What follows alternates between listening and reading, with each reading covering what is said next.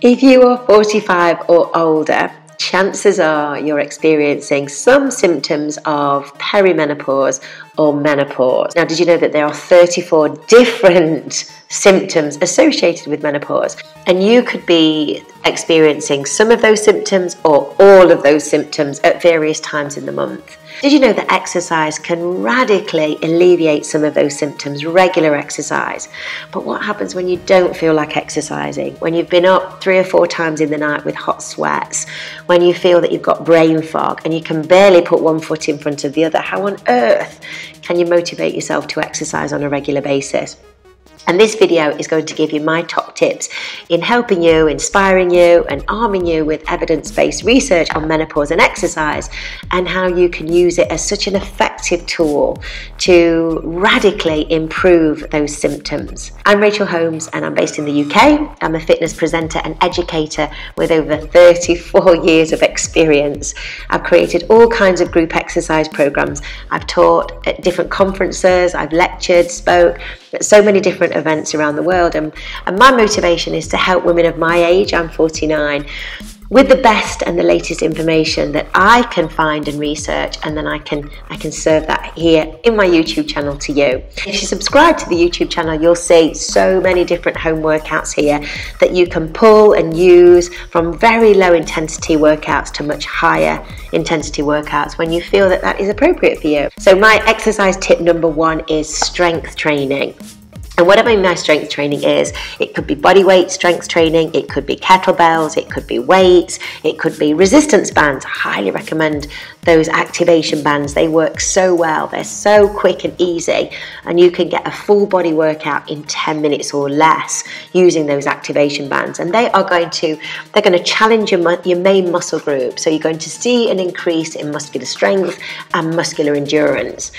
And because this time, this perimenopausal and menopausal phase, estrogen levels are dipping, testosterone levels are dipping, it's important that we keep our muscles strong. It's important that we strength train on a regular basis because that's going to help with bone density, osteoporosis, heart health, pelvic health, muscular strength, muscular endurance, and mental cognition the act of, of doing physical activity on a daily basis, just 10 minutes, will have such a radical, radical effect on how you think and how you feel, your emotional health, your physical health, and your mental well being. So, strength training is key. You know, maybe in the past you look to run and do endurance training, or maybe you might not feel like that right now. So set yourself a goal of perhaps just doing 10 minutes a day. And if you subscribe to this channel, you can find lots of strength training workouts that you can do at home.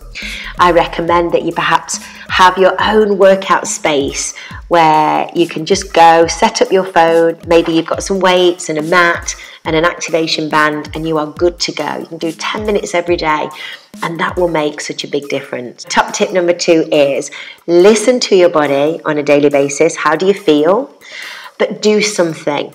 So, whether it's 10 minutes of fitness Pilates, whether it's 10 minutes of yoga, whether it's 10 minutes of Lift Lean, which is a strength training program, whether it's 10 minutes of dancing, whether it's 10 minutes of abdominal work, choose one of the workouts, but do something on a daily basis. And I recommend that you do it first thing because it's out of the way, you've done it. And when you do it first thing, it really helps with your serotonin levels, your dopamine levels. You've done your workout, you feel good about yourself, your self confidence and self esteem improves. So if you are struggling with low mood and you're not feeling great about yourself, maybe you feel that you're you put weight on and you've just lost yourself a little bit, just exercising for 10 minutes a day, giving yourself that push doing it using the five second rule five, four, three, two, one.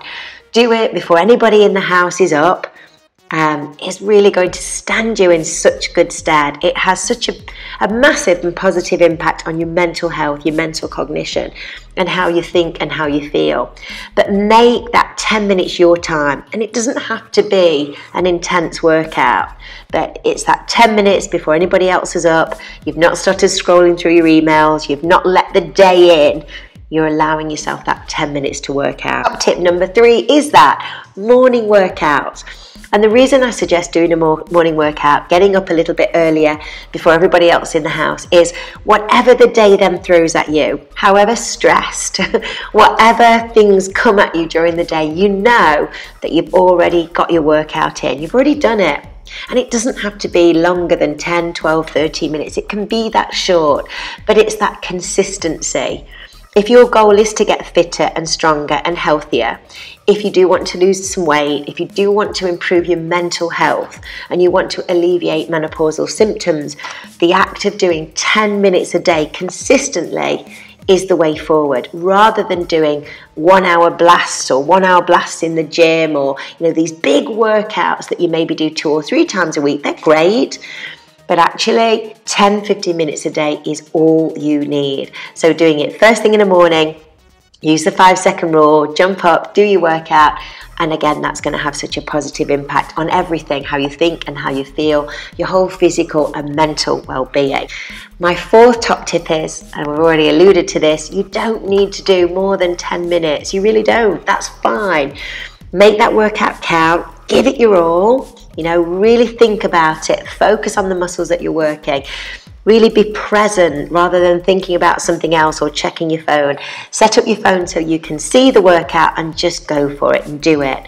And again, that will make such a, a, such a big, big, big change in how you think and you feel. And my fifth tip is to move more through the day. So whether you use a step tracker maybe you you track your 10,000 steps every day but just the act of moving taking the lift parking a little bit further away from where you want to go. Moving it all adds up through the day all those calories that you burn during the day. You know, if you're sitting at a desk, get up, move. It all adds up and it all helps. It all helps speed up your metabolic rate. It all helps with your mental cognition.